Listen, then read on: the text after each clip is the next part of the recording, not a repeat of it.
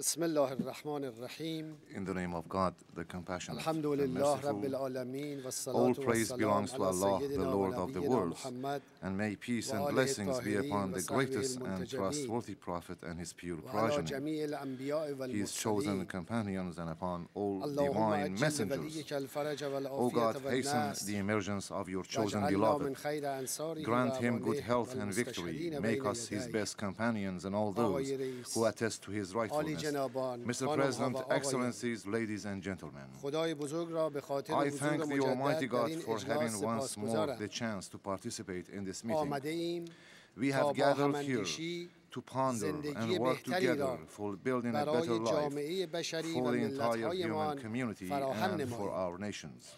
من Coming from از Iran, سرزمین ایران the land of سرزمین glory شکوه و and زیبایی، beauty, the land of knowledge, سرزمین علم و فرهنگ culture, سرزمین حکمت و اخلاق مهد فلسفه و عرفان و دیار مهر و نور. The land of سرزمین دانشمندان the حکیمان فیلسوفان و عارفان of و عدیبان and سرزمین بو علی سینا فردوسی مولوی حافظ, مولانا عطار, خیام خیام و شهریار, شهریار.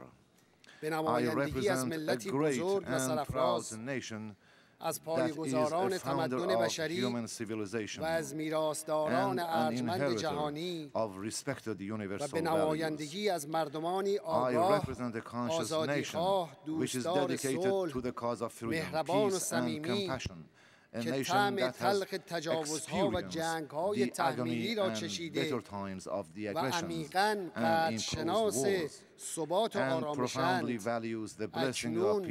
در جمع شما خواهران و برادران خود از سراسر جهان In the eighth year of my service, to my noble people in this God's assembly of sisters, and brothers به جهانیان from نشان دهم across the world که to ملت show to the شریف world that ایران my noble همچون nation, گذشته like its تابناک brilliant تاریخیش past, has a global vision جهانی دارد and welcomes و از any هر گونه effort تلاش و intended to مجاهدت provide برای and تأمین promote peace, توسعه و تحکیم stability, صلح و ثبات و آرامش در جهان که تنها از طریق همفکری و همکاری و مدیریت مشترک میسر است استقبال کرده و آن را مهم تلقی می کند این جانب اینجا هستم تا پیام الهی و انسانی مردان و زنان فریخته کشورم را به شما حضار محترم و به همه مردم جهان ابلاغ کنم. پیامی که خدای سخن ایران زمین سعدی علیه الرحمه در دو بیت ماندگار تاریخی به همه بشریت چنین هدیه کرده است. بنی آدم اعضای یکدیگرند که در آفرینش ز یک گوهرند چو عضوی به درد آورد روزگار دیگر عضوها را نماند قرار. طی هفت سال گذشته I have talked از in the past چالش ها seven و years راه های about برون the رفت current challenges, و افق solutions, آینده جهان and سخن prospects of گفتم the future و world. امروز میخواهم And today از I want منظر to raise دیگری به آن and discuss بپردازم such issues from a هزاران different سال perspective. از پراکنده Thousands شدن of years و has زندگی passed فرزندان since حضرت children of آدم Adam, در بخش peace be های upon مختلف him, زمین started میگذرد to settle down In various parts فرزندانی که of با earth. رنگ ها و سلائق و Peoples زبان of ها و different آداب colors, گوناگون inclinations, و در languages, آرزوی customs and ساختن traditions جامعه pursued متعالی persistently و to رسیدن به fulfill their زندگی aspirations زیباتر و to build a استقرار noble رفاه و society صلح و for a امنیت more پایدار beautiful life تلاش blessed with گسترده‌ای به عمل lasting peace, آوردند security and happiness. اما علا رغم مجاهدت all پیگیر efforts صالحان made by و righteous عدالت people طلبان and justice و seekers تحمل رنج and های the sufferings فراوان and pains توسط endured توده های by masses مردم of people برای نیل in the quest شادکامی و to achieve پیروزی happiness and جز در victory. موارد The اندک history of تاریخ بشر mankind, پر از except in rare خلق‌کامی ها cases, و is شکست marked هاست with unfulfilled dreams لطفا and در failures. ذهن خود Imagine for a لحظه ای moment تصور کنید اگر خود بر تربینی ها بی اعتمادی ها بد اخلاقی ها و دیکتاتوری ها نبود و هیچ کس به حق دیگری دست اندازی نمی کرد اگر به جای میزان برخورداری و مصرف ارزش های انسانی میار شعن اجتماعی بود in اگر place of بشر affluence and دوره سیاه consumerism. قرون وسطا را Had تجربه humanity not نکرده بود experienced the و dark age of قدرتمندان medieval مانع از periods شکوفایی and علم و centers of اندیشه power, سازنده not نمی hindered شدند the flourishing of knowledge and اگر جنگ constructive های thoughts. صلیبی و دوران Had the wars of بردهداری و crusade استعمار and the واقع ensuing نشده periods بود of و slavery and میراثداران آن colonialism دوره not سیاه happened, and در had the ادامه inheritors راه of these dark انسانی periods عمل می followed the کردند course on the premises اگر of جنگ های humanitarian اول و دوم principles. در اروپا و Had the جنگ first and کره و second world wars in ویتنام Europe, و the wars جنگ in های Korea, آفریقا و Vietnam, آمریکای Africa, لاتین Latin و America, بالکان and in the اتفاق Balkans نمی not افتاد happened. و به And جای if, اشغال instead of فلسطین the و occupation of تحمیل Palestine حکومت and جعلی imposition of a و fake نسل government, کشی و displacement آواره and کردن genocide میلیون of ها نفر millions of people around the حقیقت globe, حوادث جنگ the دوم truth behind اعلام these wars و به had عدالت been رفتار می revealed شد based on justice. اگر تجاوز Had صدام Saddam علیه Hussein ایران not نبود invaded و Iran زورمداران and به had جای حمایت the از big powers صدام supported the از rights حقوق of ملت ایران Iranian حمایت people میکردند instead of siding with اگر حادثه Saddam. تلخ 11 If the سپتامبر tragic و incident of لشکرکشی به September افغانستان و 11th عراق and the military و actions against کشتار و Afghanistan آوارگی and میلیون ها Iraq نفر that اتفاق left نمی millions افتاد killed and و homeless به جای had کشتن و not به دریا happened. انداختن And یک if instead متهم of killing and بدون throwing the محاکمه و culprit اطلاع into رسانی the به sea مردم آمریکا و without trial جهان or without informing the به world and جای the این people of یک گروه America, مستقل an حقیقت independent یاب fact-finding team امکان had been آگاهی formed عمومی to از make کیفیت the general حادثه public اگر اجازات عاملان را فراهم آورد. اگر از جوستس برای پیشبرد سیاست ها استفاده نمی شد.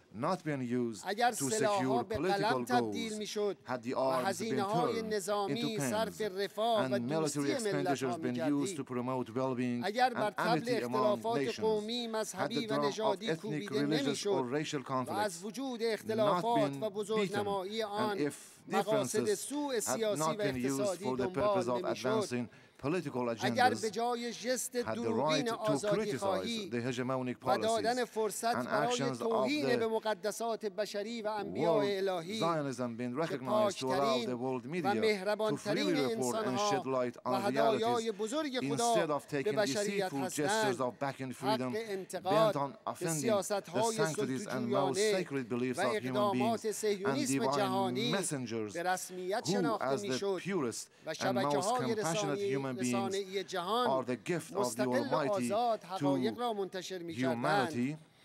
اگر شورای امنیت تحت سیطره چند دولت نبود و سازمان ملل می توانست عادلانه عمل کند.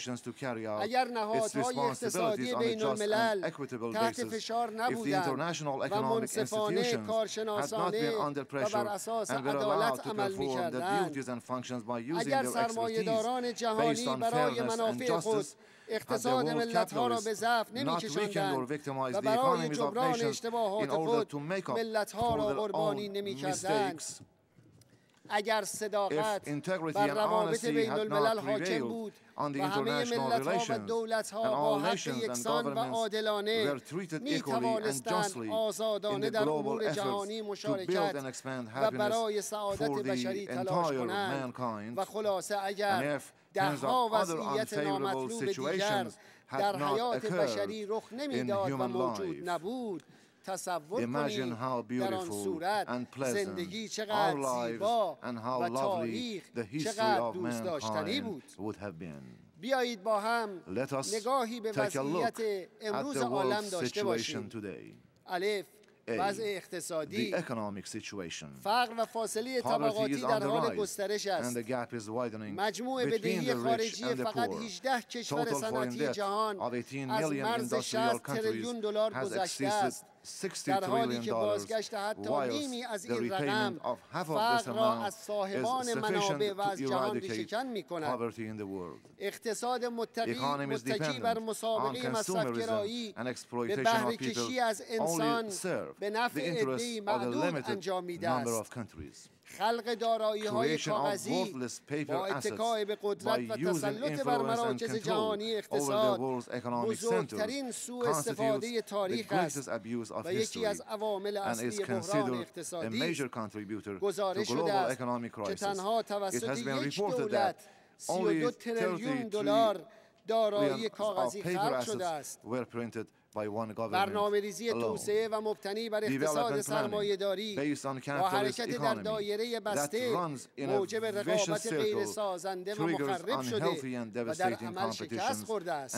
It is a failed practice. وضع فرهنگی B, the cultural situation. مکارم اخلاقی نظیر جوانمردی پاکی صداقت مهربانی و فداکاری از منظر سیاست مداران حاکم بر مراکز قدرت جهانی مفاهیمی ارتجاعی و مانع از پیشرفت اهداف تلقی می شود رسما از عدم اعتقاد به حاکمیت اخلاق در مناسبات سیاسی و اجتماعی سخن می their disbelief in the فرهنگ های relevance of اصیل و ethics بومی to the که political حاصل and social قرنها affairs. تلاش و فصل مشترک Pure and زیبایی indigenous دوستی cultures انسانها و as the ملتها و of موجب centuries-old تنوع و efforts of نشاط nations, فرهنگی the common و تحرک denominator اجتماعی reflecting human جامعه profound جهانی feeling and love است در معرض towards beauties هجوم و and the انقراض force است which breeds diversity, با cultural تخریب و vividness, تحقیر and social سازمان یافته dynamism هویت are ها under constant شیوه attacks خاصی and از susceptible زندگی to بی extinction. هویت فردی A و specific اجتماعی lifestyle به devoid ملت ها of تحمیل individual می شود social identity is being imposed on خانواده nations by که organized اصیلترین and کانون systematic انسانساز destruction and اجتماعی humiliation of و مرکز identities. خلق و Family as the پراکنش noblest عشق و institution of انسانیت است societies and بسیار the center تضعیف شده و emanating نقش love and سازنده humanity آن has رو been به seriously نابودی است weakened and its destructive role شخصیت و is نقش on the محوری decline. زن Women's که sublime موجودی role and آسمانی personality و as مظهر a heavenly جمال و being, مهربانی the خداوند manifestation of و divine ستون image and پایداری beauty جامعه است and the با main سوء pillar of استفاده every برخی از society صاحبان has قدرت been و ثروت damaged and دچار abused آسیب by the فراوان شده powerful است and the wealthy. روح آدمیان Human soul مکدر has become و حقیقت frustrated انسانها and the تحقیر essence و of منکوب humankind گردیده است humiliated and suppressed. وضع سیاست و امنیت. یک جانب گرایی و استاندارد چند جانبه. استاندارد چند بانه و تحمیل جنگ و ناامنی و اشغال برای منافع اقتصادی و یا بست سلطه بر مراکز اساس جهان عادی شده است. مسابقه تصدیحاتی و تهدید با سلاح اتمی و کشتار جمعی توسط قدرت های مسلط امر رایج است. آزایش تسلیحات به مراحل مختلف و فرم مدرن و تهدید علنی به داشتن آن، و دادن وعده آشکار کردن آن در وقت ممتازی، و اعدادیات تازهی برای خالی کردن دیلمالت ها، برای پذیرش دوره جدیدی از سلطه بدل درس، تهدید ملت مزاری ایران، دخیلی نزامی است، سوی تهدید ملت مزاری ایران، دخیلی نزامی است، سوی سیاسی ایری سوی سیاسی ایری فرهنگی، against نمونه our های great بارز nation این is واقعیت a clear تلخ است example of this bitter reality. بیاعتمادی بر A state روابط of بین mistrust الملل حاکم has است cast its و shadow مرجع on مورد the اعتماد و international عادلی relations, برای رفع whilst مناقشات there is وجود no ندارد trusted حتی کسانی که هزاران بمب اتم و انباع سلاح انبار کرده هند احساس امنیت نمی کنند بس محیط زیست. محیط زیست که ثروت مشترک متعلق به همه بشر و بستر تداوم حیات انسان است. به واسطه زیاد خواهی و تا قصاص ادهی بی مبالات و بی مسئولیت و عمدتا از سرمایه داران جهانی متعمل گسترده ترین تخریب هاست و در نتیجه خوش particularly سیل و by زلزله و capitalists across the انواع world, a آلودگی situation that has حیات caused انسانی را به massive مخاطره drought, انداخته flood, است and pollution, دوستان عزیز، inflicting irreparable damage ملاحظه می and کنید jeopardizing که seriously علا رغم human life برخی on earth. پیشرفت ها Dear colleagues, هنوز despite advances آرزوهای in scientific فرزندان knowledge حضرت and آدم technology, محقق the نگردیده است aspirations of Adam's آیا children کسی have not تصور yet می been کند fulfilled. که Does ادامه نظم anybody believe موجود that بتواند continuation سعادت را به of the جامعه current order بشری is هدیه capable of نماید bringing happiness for همه human از وضع society? موجود و نظام حاکم بین Today, المللی everyone is ناراضی discontent and و از disappointed آینده with the آن current مایوسند international order.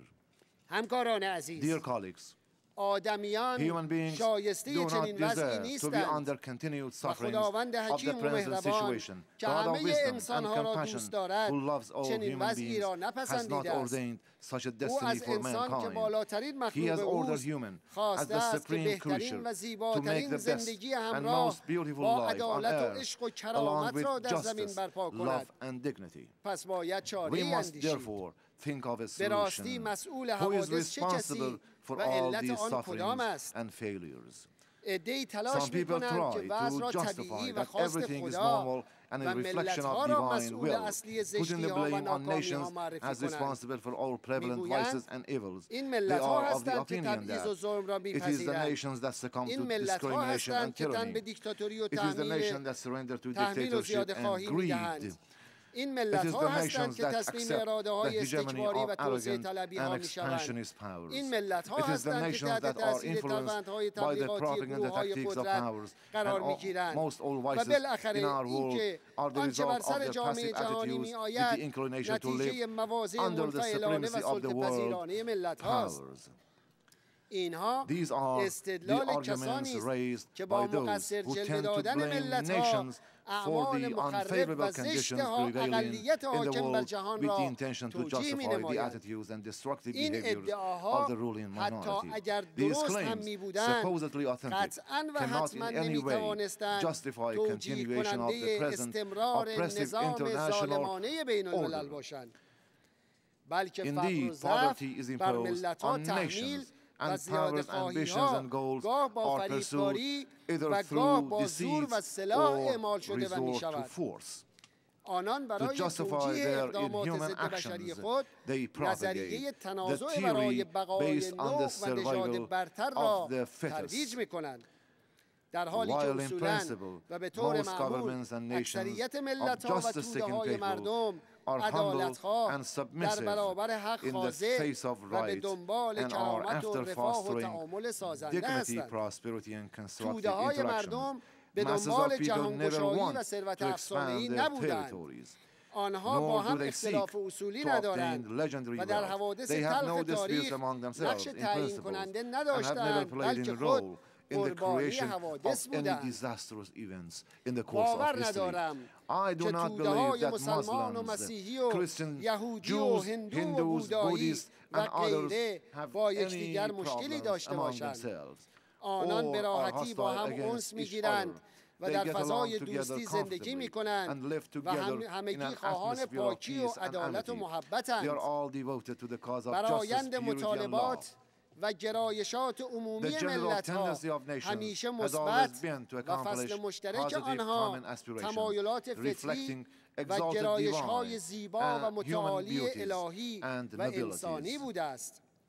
حق این است که عامل اصلی و مسئول حوادث تلخ تاریخ و وضع ناگوار امروز مدیریت حاکم بر جهان و مدعیان و قدرتمندان بین المللی دل سپرده به شیطان هستند. نظمی که ریشه در اندیشه ضد انسانی بردهداری و استعمار قدیم و جدید دارد مسئول فقر و فساد و جهل و تباهی و ستم و تبعیض در جامعه and جای discrimination جهان است in every corner of the world. مدیریت و نظم امروز حاکم بر The current جهان world order ویژگی has هایی certain دارد characteristics, که باید some آنها of را which مورد توجه are قرار as داد follows. برخی از آنها It is به این قرار founded است اول and that is why مبتنی بر it is تفکر in no مادی way و از این رو غیر متعهد به ارزش های اخلاقی است. دوم بر اساس خودخواهی فریب و has been کینه توزی و نفرت شکل گرفته است زشن هترود بر اساس درجه بندی انسان ها تاکید بر کی ملت ها تزییع حقوق دیگران و سلطه طلبی پای گذاری شده است. چهارم به دنبال بست سلطه‌گری از راه تشدید تفرقه و درگیری بین اقوام و ملل است. پنجم به دنبال ایجاد انحصار در قدرت و ثروت و علم و فناوری برای گروهی معدود است. ششم سازماندهی سیاسی در مراکز اصلی قدرت جهان بر پایه ادبیات سلطه و غلبه بر دیگران استوار است. این مراکز همه برای کسب قدرتند و نه برای ایجاد صلح و خدمت به مردم. آیا می شود باور کرد که ادهی برای خدمت به انسانها صدها میلیون دلار در تبلیغات انتخاباتی هزینه نمایند؟ Have the interest به of زعم the people احزاب of the بزرگ world در کشورهای. سرمایهداری جهانی what big هزینه political های parties انتخاباتی در the واقع capitalist یک نوع countries, سرمایه the money گذاری that محسوب goes می شود election campaigns مردم در is این usually کشورها مجبور به انتخاب. احزاب In هستند در حالی که احزاب درصد کمی از مردم only را در a عضویت small خود دارند. اراده و نظر توده های مردم از جمله در ایالات متحده آمریکا و اروپا در عرصه های مهم و مستمر تصمیم گیری به خصوص در سیاست های اصلی داخلی و خارجی کمترین تأثیر را دارد و فریاد آنان به جایی نمی‌رسد. حتی اگر 99 درصد جامعه خود را تشکیل دهند. ارزش های اخلاقی و انسانی قربانی کسب رأی شده است و توجه به مطالبات مردم فقط به یک ابزار تبلیغاتی در زمان انتخابات مبدل شده است. هفتم نظم حاکم بر جهان تبعیز آلود و بر اساس بیعدالتی.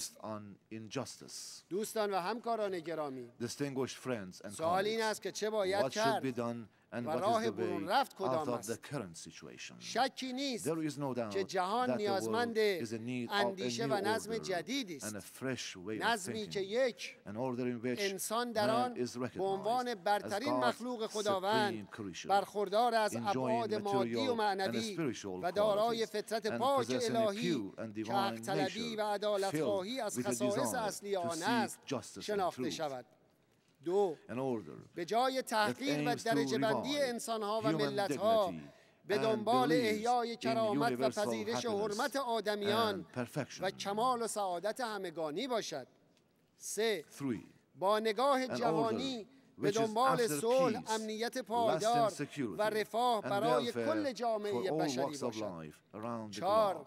بر مبنای اعتماد و محبت به نوع انسان و برای نزدیک کردن اندیشه ها قلب ها و دست ها و رفع فاصله ها پای گذاری شود حاکمان باید عاشق مردم باشند پنج بر اساس عدالت و یکسانی همگان در برابر قانون و بر پایه استانداردی یگانه باشد شش مدیران حاکم بر جهان خود را خادم مردم و متعهد به آنان بدانند. نه برتر از مردم. مدیریت امانتی مقدس از سوی مردم در دست مدیران جهانی و نه فرصتی برای کسب ثروت و قدرت بیشتر به شما راید جناب آقای رئیس خانم‌ها و آقایان. چنین نظمی آیا جز با مشارکت همگانی در مدیریت جهانی محقق می گردد؟ بدیهی است روزی که آهاد مردم و دولت ها جهانی می و با التزام به مبانی فوق نسبت به مسائل مهم بین المللی احساس مسئولیت کرده و به مشارکت فعال در تصمیم گیری ها مبارد و زن آرزوها فرصت تحقق پیدا خواهند کرد. با ارتقاء سطح آگاهی ها مطالبه مدیریت مشترک جهانی و معالا فرصت های استقرار آن روز به روز بیشتر خواهد شد. امروز روز ملت هاست و خواست و اراده آنان تعیین کننده جهان فرداست. بنابراین شایسته است. همه با هم یک به خداوند توکل نماییم. و با تمام توان در برابر اقلیت زیاد خواه بیستیم تا منزوی شوند. و دست آنان از مراکز قدرت تصمیم ساز در تعیین سرنوشت ملت ها کوتاه گردد. دو بارش لطف و رحمت خداوند را باور و آن را در انسجام و وحدت جوامع بشری جستجو کنیم.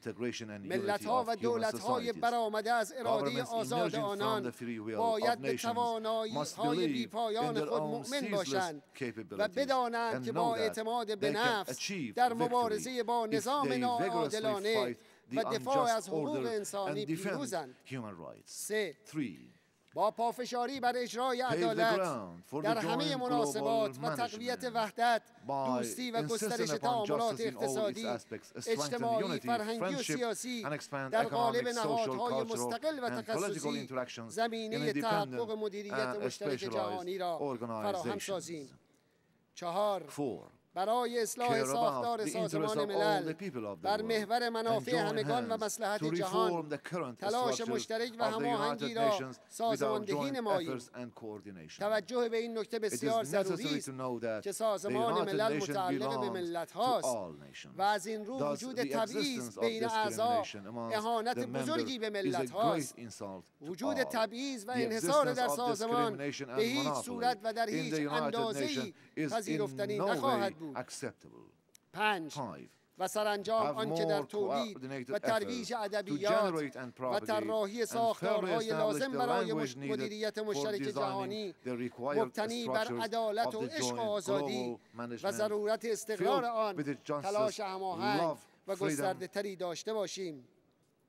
مشارکت در مدیریت جهانی اساس صلح پایدار است. جنبش عدم تعهد به عنوان بزرگترین نهاد بین المللی بعد از مجمع عمومی ملل متحد با درک اهمیت پرداختن به موضوع مدیریت جهانی و با فهم عمیق نسبت به نقش مدیریت ناسهی در بروز بحران ها و مشکلات موجود گسترده در جهان. شانزدهمین اجلاس خود را در تهران با شعار مدیریت مشترک جهانی برگزار کرد. در این نشست که با حضور بسیار فعال و پرنشات رؤسا و نمایندگان محترم بیش از 120 کشور جهان برگزار شد. بر ضرورت مشارکت جدی و مؤثر همه ملت ها در مدیریت مسائل جهانی تأکید کرد. خوشبختانه امروز در نقطه عطف تاریخی قرار داریم. از یک سو نظام مارکسیستی دیگر از جایگاهی در دنیا برخوردار نیست و عملا از صحنه تدبیر مدیریتی حذف گشته است. و از سوی دیگر نظام سرمایه‌داری نیز is در باطلاقی که به دست خود پدید آورده گرفتار آمده و ابتکار قابل ملاحظه ای برای حل مسائل مختلف اقتصادی سیاسی امنیتی و فرهنگی جهان ندارد. و عملا در موضع تدبیر مدیریتی به بومبس رسیده است. جنبش عدم تعهد مفتخر است که یک بار دیگر بر درستی تصمیم تاریخیش در نفع قطبهای قدرت و ترد نظام های لجام گسیخته مذکور تأکید نماید.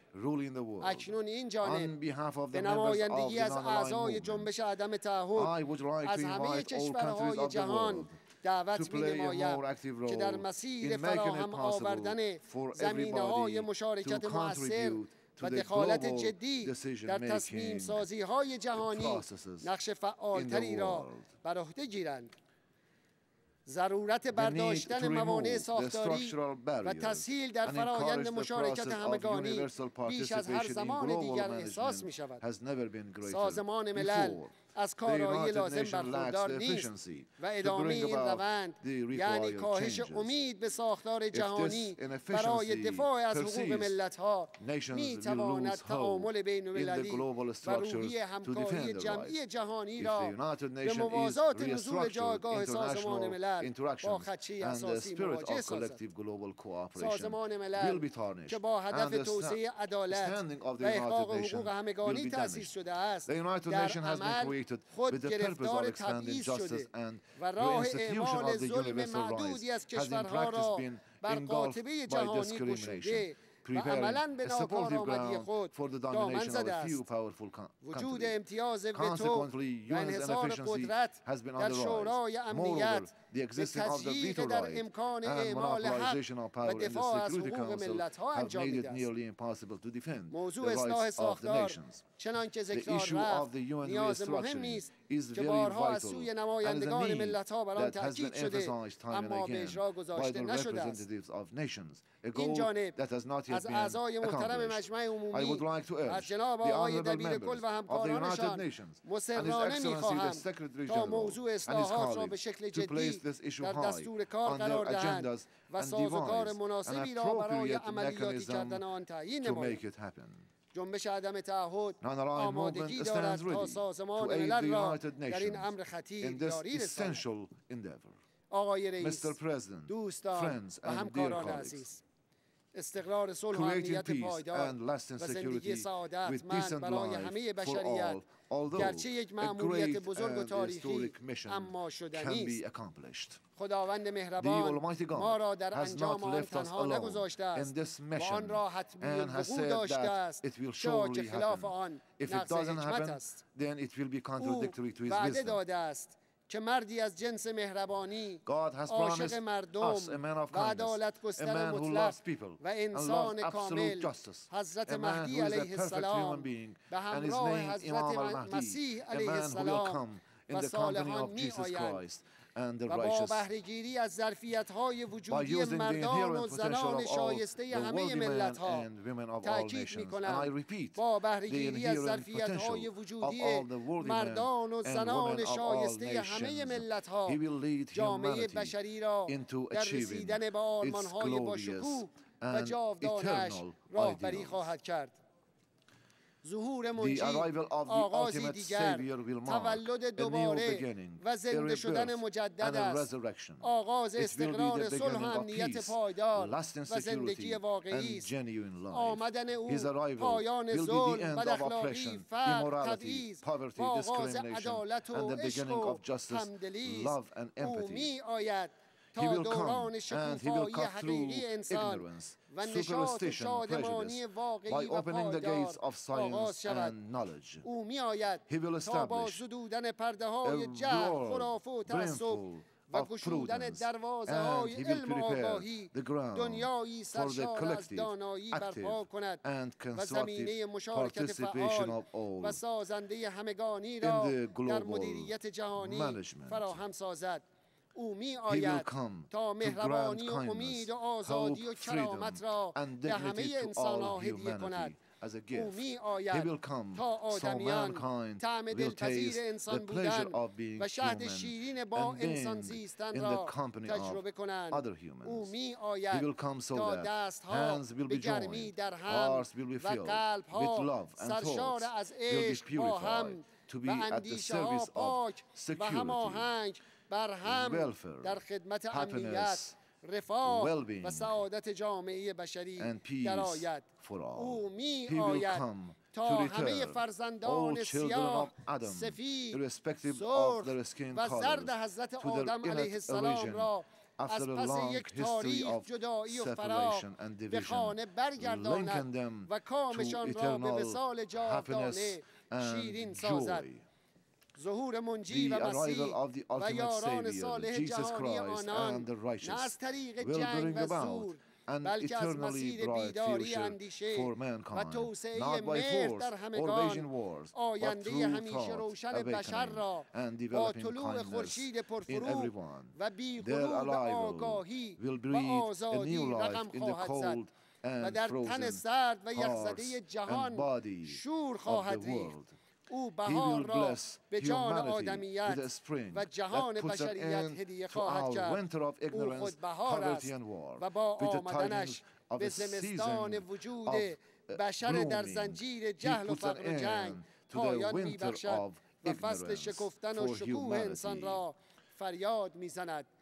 اکنون Now we میتوان can see رایحه and we can خوش sense و the نسیم sweet روحانگیز scent بهار and the انسانها را soulful حس breeze کرد of the spring. بهاری که در A آغاز spring آن that has هستیم just begun اختصاص and به doesn't نژاد belong to a قوم specific race, ملت و منطقه ethnicity, خاصی ندارد nation or و به a زودی region. همه A سرزمین ها spring را that will در soon آسیا، reach اروپا، all the آفریقا و territories in آمریکا Asia, فرا Europe, خواهد گرفت Africa, and او America. بهار همه He عدالت will be the طلبان spring of all, آزادی the خواهان justice و seekers, پیروان freedom انبیاء lovers, الهی است and the او followers بهار of heavenly انسان است prophets. و He will be the خرمی spring of دوران humanity and the بیاییم greenery of همه all با ages. هم let us join hands and clear the way for his eventual arrival with empathy and cooperation in harmony and unity. Let us march on this path to salvation for the thirsty souls of humanity to taste immortal joy and grace. Long live this spring.